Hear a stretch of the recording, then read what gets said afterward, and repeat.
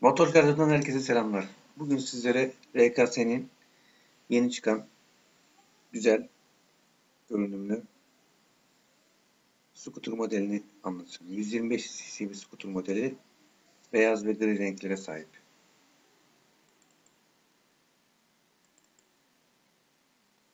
Göz alıcı bir tasarım var arkadaşlar. Motosiklet tam bir Japon edasına sahip. LED aydınlatmalarla donatılmış konforlu bir sele yapısına sahip.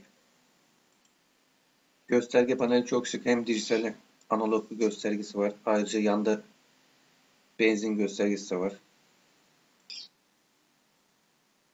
Ön fren disk kullanmışlar. Arka fren kampana. Teknik özelliklerine bakalım hep beraber. Silindir hacmi 125 cc, maksimum torku 8.2 Nm torku 6000 devirde üretiyor. Ön lastik 80'e 90 14. Yükseklik 1060. Yakıt tank kapasitesi 4.7 litre. 4 zamanlı tek silindirli benzinli motosiklet. Arka lastik 90'a 90 14. İki teker arası 1290 mm. Otomatik vitesi hava soğutmalı. 1950 mm uzunluğunda 101 kilo ağırlığında 8.5 beygir 7500 devirde elde eden ön fren disk arka kampana genişlik 650 milim azami yük 251 kilo. Motosiklet yeni bir model 21.500 TL'ye satışa sunmuş arkadaşlar. Tasarımı oldukça güzel yapmışlar.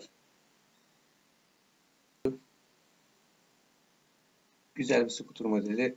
Şu anda sadece kullanmadık tabi. Kullanıcılarından dinlemek lazım. İleride sıkıntı çıkarır mı bilemem ama görünüm itibariyle güzel bir skuter modeli olduğunu düşünüyorum. Sizlere tanıttım. Tekerinize taş gözünüze yaş değmesin. Videoya like atmayı, kanalımıza abone olmayı unutmayalım. Herkese iyi günler.